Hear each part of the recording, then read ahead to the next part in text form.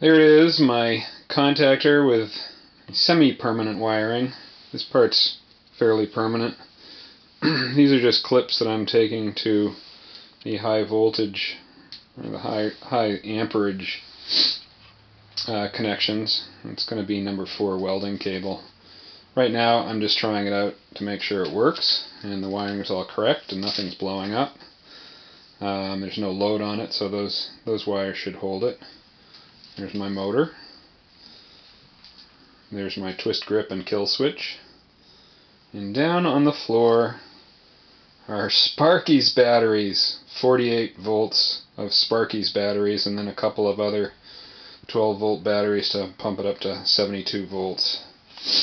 First thing I'm going to do is turn the kill switch which should make the contactor click. Yay.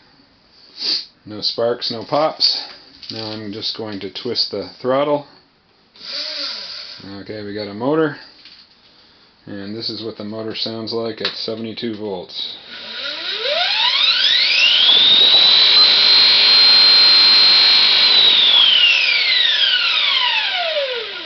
Next step is to get the welding cable in, get the connectors made, and then um, actually uh, set up the chain.